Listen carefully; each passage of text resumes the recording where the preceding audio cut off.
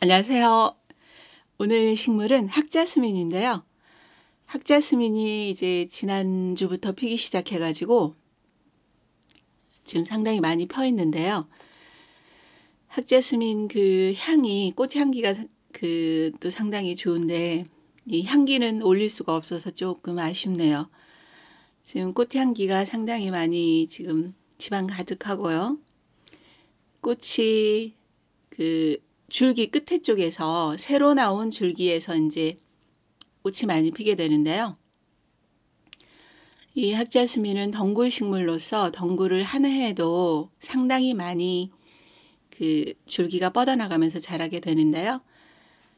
어, 노지나 정원에서는 줄기를 그냥 늘어뜨리면서 키워도 되지만 그 화분에서 키울 때는 그 관리가 필요한데요. 줄기를 자를 때는 꽃이 피고 나서 꽃이 이제 지고 나서 지금부터 꽃이 피기 시작하면 3, 4월, 어, 5월 초까지 그렇게 피는데요. 꽃이 이제 전체적으로 다 피고 나서 꽃은 연속해서 피고 지고 해요. 그 새로 나온 줄기에서 꽃대가 나와서 또 피고 피고 지고 또 먼저 핀 꽃은 또 지면서 피면서 그렇게 하거든요. 그래서 5월 초까지 그렇게 꽃이 피게 되는데 꽃이 이제 더 이상 꽃송이가 나오지 않을 때 그때 여름에도 간간히 피긴 해요. 그런데 여름에 이제 줄기가 무성하게 자라기 때문에 여름이 되기 전에 잘라주는 게 좋고요. 아니면 이제 여름에 잘라줘도 괜찮아요. 그래서 이제 새로 나온 줄기에서 내년 봄에 다시 꽃이 피게 되니까요. 그렇게 해서 이제 줄기는 그렇게 잘라주면 되고요. 줄기를 자를 때는 10cm, 20cm 그렇게 잘라도 돼요. 그 줄기는 한번 나오기 시작하면 길게 나오거든요. 길게 자라면서 나오기 때문에 지지대를 세워가지고 지지대에다 이렇게 둘러가지고 빙빙 돌려가면서 감아줘도 되고요.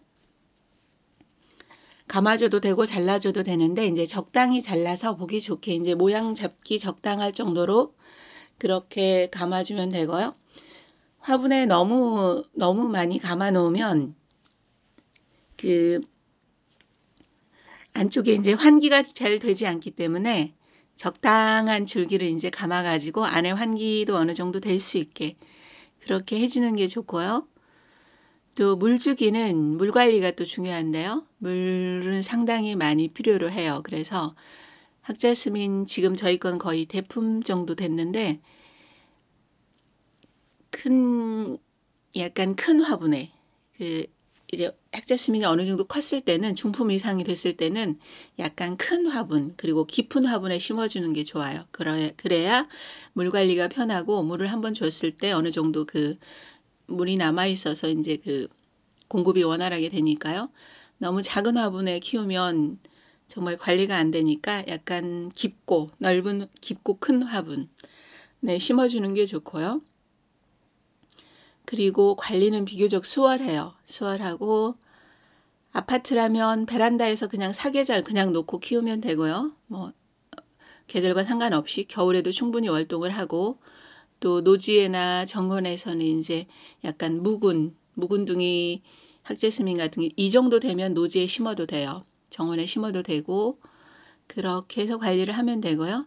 영양 관리는 어, 꽃이 피는 식물이기 때문에 봄, 가을 그리고 1월 정도 저는 1월 정도 이제 영양제를 조금 더 추가해서 주거든요. 봄, 가을 주고 1월 정도 그 영양제를 주고 나면 2월부터 이제 빠르게 피, 기 시작하면 2월, 2월부터 피기 시작하니까 그렇게 해서 이제 영양제를 올려주고 그리고 이제 물 관리 그렇게만 하면 그렇게 까다롭지가 않아요. 이제 중요한 건 물 관리하고 이 덩굴을 어떻게 관리하느냐가 중요한데 그 지지대를 저는 세 개 정도 안쪽에 세워가지고 거기다 이렇게 감아줬거든요. 이렇게 빙글빙글 돌리면서 감아주면 돼요. 그러면 그 옆에서 겨순이 나와가지고 새, 새 줄기가 또 나오면서 새로 나온 잎줄기에서 또 꽃이 피고 지난해에 나왔던 줄기에서도 또 꽃대가 나와서 그렇게 이제 꽃송이가 피게 되니까요. 그렇게 해서 관리를 하면 또 이때 정도 그리고 초여름까지 향이 좋은 닥자스민 꽃을 볼 수가 있습니다.